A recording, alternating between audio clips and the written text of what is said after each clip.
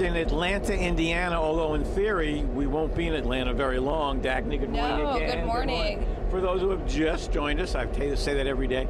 Um, give us some sense of where this train goes and what people can enjoy on the train. So come out and ride the rails with us. We're going to start in Atlanta and we head towards Noblesville. So go to nickelplateexpress.com, get your tickets, come ride with us. And if you do ride with you, what can you enjoy on the train? Uh, you can enjoy drinks, food, and a beautiful view of Morse Reservoir. Terrific. And you've been. Oh, by the way, you have had packed crowds, right? How many yes, people? we have. So we opened in September, and from September to December, we welcomed 10,000 passengers, which was incredible. How many does the train hold? It holds 200 people, so that's a lot of round trips. It is indeed. And here's a guy who's been on almost as many round trips as anybody. Brett Davis, good morning. Good morning. Good morning, sir. Uh, we are about to go to Noblesville. Yes, Is sir. that correct? And you've been driving the train for how long?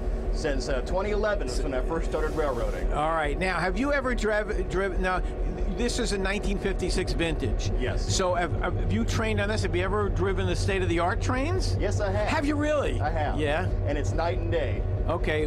Night and day, I'm not interested in. Fun or not fun, which is more fun? I prefer this. Do you? That, tell me why.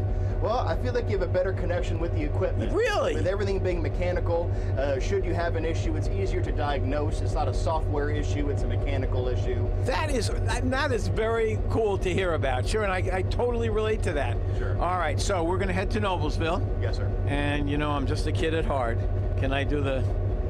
Yes, well, if you can, sir, give me two horn blasts from here and we'll get going. And what does two usually mean? It signifies that we're going to start a forward movement. All right, here we go. You ready? Yes. Okay, engineer Brett Davis is taking us to Noblesville. Dagny, tell me again what the website is. NickelplateExpress.com, come ride the rails with us. All right, 200 people at a time, and you meet I probably you meet a lot of neat people. You do, you meet a lot of characters. Here we go. We are off to Noblesville. By the way, how long will this take? About an hour. About an hour. Okay. Here we go. Hi, everybody. Off to Noblesville.